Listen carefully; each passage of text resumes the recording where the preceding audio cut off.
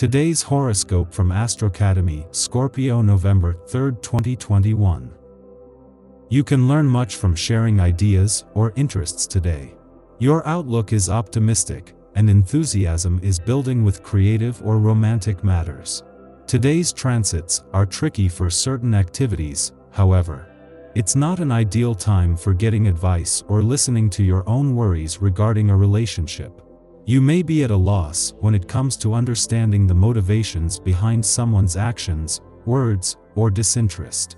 It may be better to enjoy a sense of autonomy for the time being, aiming to circle back to issues on a day when people are more self-aware or objective.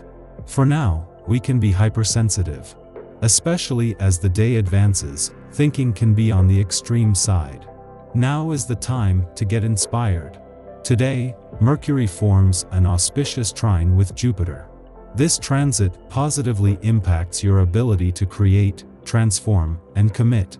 Mercury trine Jupiter is ideal for brainstorming, maybe with a family member or coworker who feels like family. The brainstorming session revolves around investments, which may connect with your ability to invest in professionalizing your passions. Your burst of creativity and passion will translate to any work you execute today.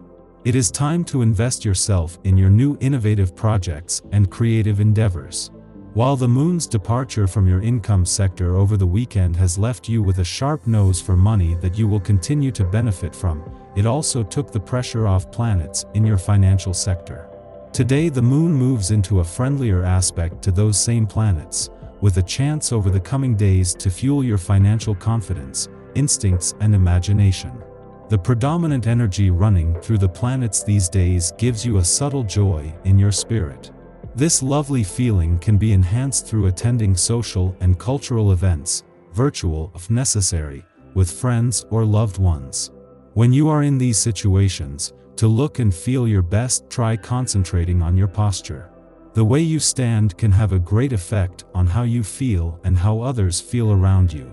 Posture affects how you breathe, and this is key.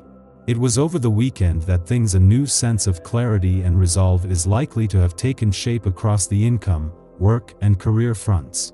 As all the different moving parts came into alignment this gave you a better sense of where things slotted in together and overlapped, giving you a clearer sense of what you want from the final months of both this financial and professional year.